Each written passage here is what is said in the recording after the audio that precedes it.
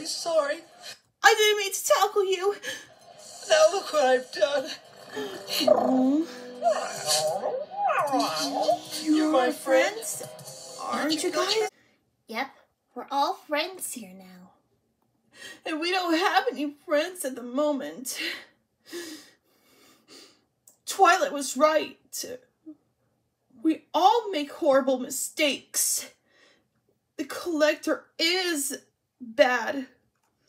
He does so many crazy things to play LX Productions. And we're lost in a different world. And we're all good at different things. We're gonna miss Molly now.